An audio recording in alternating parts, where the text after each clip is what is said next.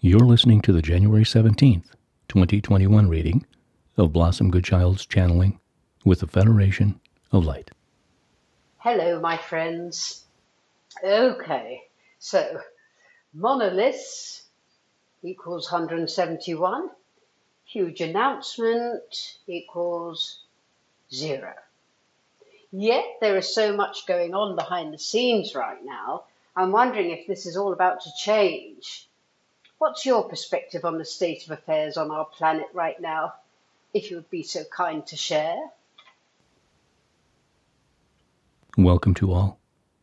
Welcome to a time that is to be pivotal in this entire operation of dismantling the dark and watching the sunrise on your planet as it comes into the light.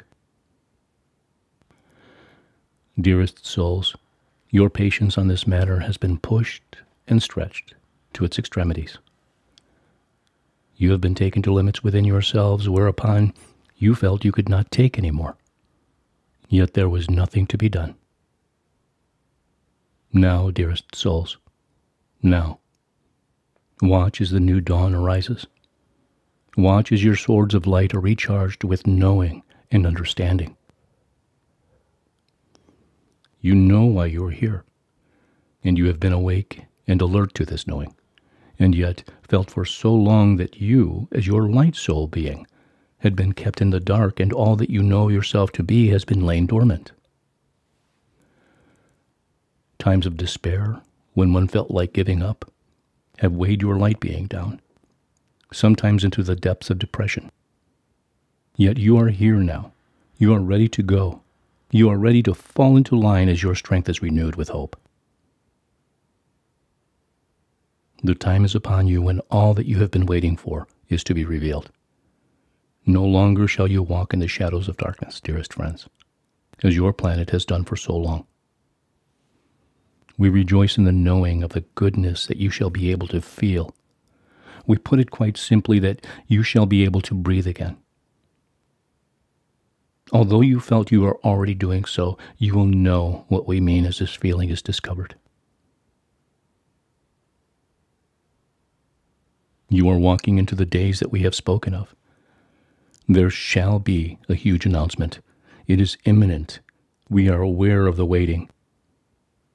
Yet now we confirm. That's very bold. These are bold times, Blossom. You are ready for what is to come. You are ready to console and comfort those who are overwhelmed with news of what is and what has been. For a time, everything shall be so topsy turvy, and it shall continue to be so. There shall be rioting and upheaval everywhere. For that which is about to be revealed will shock and abhor. All this that we are saying is of a repeated nature, as you are aware. And yet we say to you now that this is the time you will say, This is what the Federation of Light spoke of.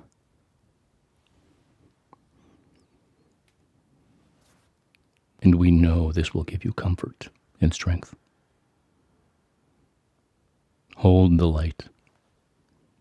Be conscious of this at all times. Repeat as often as you think to do so. I am the light. I am the love. I am the truth. I am.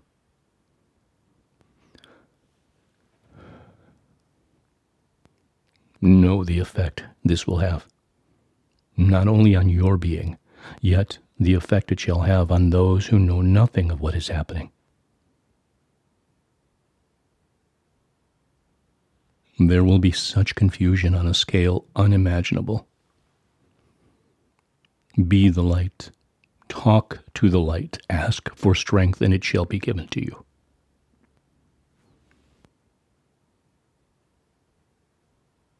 Remember, this is a divine plan. And with respect, the divine knows better than you do at this point.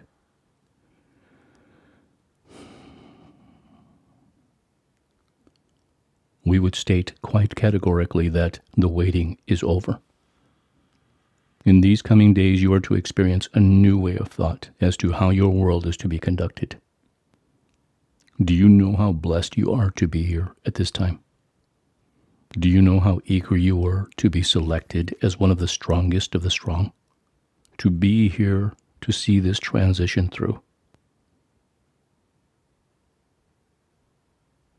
Imagine, in this moment, dearest souls, imagine the chains being released from your souls.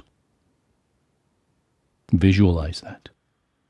A key releasing the padlock on your hearts and the shackles and chains falling away. A lightness coming upon you that you had not expected. Yet the world is about to turn upside down. A lightness? Indeed, because the truth in all that it is is to be unleashed. Yet, from what I've heard, that is not exactly going to be a comedy. Yet the lightness shall be upon you and within you, because you will know that the darkness can be no more. I have to say, it all sounds very promising. And I have to mention that the big country is about to have a big week. I assume you're meaning that it is all tied up with this. We are. The state of play in your world cannot ignore this for this is very much to do with the battle between light and dark. Remember that, dearest ones. The winner is about to be announced. Yet you have said the light has already won. It has. Maybe this is the announcement. Again, it is very bold of you. Maybe the time is in play that we are able to be so bold. I have to say as an onlooker and as a channeler, I try my best not to be influenced by what I've heard. That's why I prefer not to read other channelings, or very few.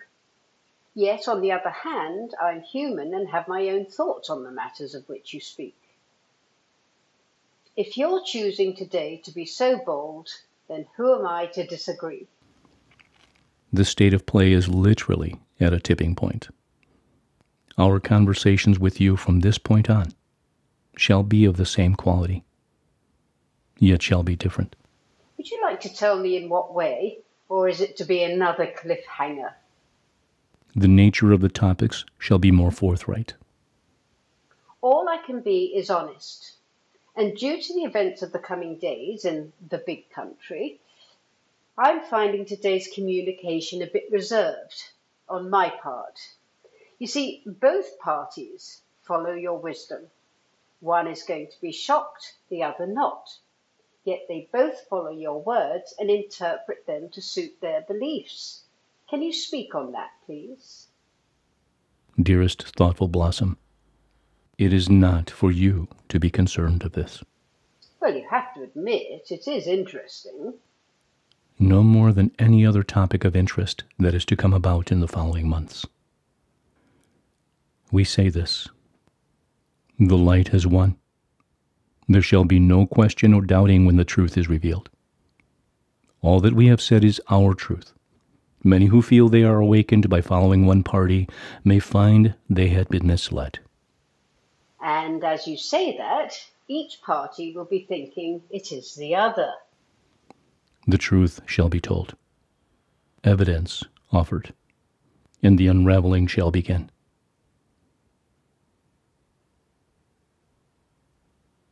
Dearest souls, we offer you encouragement of the highest degree. All you need to do is hold your light. For those unsure of exactly how to do that, how would you explain that? Know you are divine light. Know the light has won the battle over darkness at last. Know you are light of the brightest eminence. Know it. How do you know it? By feeling it. How do you feel it? By closing your eyes, taking in some deep breaths, and repeating, I am the light. I am the love. I am the truth. I am. Know too that souls all over your planet are doing the same. You will be filled with a light that you know is home. You have waited so patiently and so devotedly. The wait is over, dearest ones. No, no matter what happens, you are one. When you say no matter what happens, there's talk by many of possible energy outages, internet down for a time, etc. What's your take on that? We would offer comforting words to those who feel fearful of this, in that this is a divine plan in action. Therefore, being that it is divine, no matter what is taking place, there is nothing to fear. No stone has been left unturned, hence the patience required. All possibilities of outcomes have been considered, and the safety of your planet and the good souls that reside upon her have been accounted for. A divine plan cannot be faulted. So, hold on to your hats would be an understatement. No. We suggest you hold on, strap down, buckle up, in readiness for the off. Very exciting. Indeed, a big week ahead for our entire planet. I, for one, am ready as indeed we all are. We know not exactly how this is to play out, yet our love will anchor firmly as we open our hearts to the unsuspecting and those who are going to feel like they've been hit on the head with a mallet. Our soothing balm is at hand. Wow, how amazing to be here and be part of this. Any last words today? The heavens, the realms of light shine down upon you.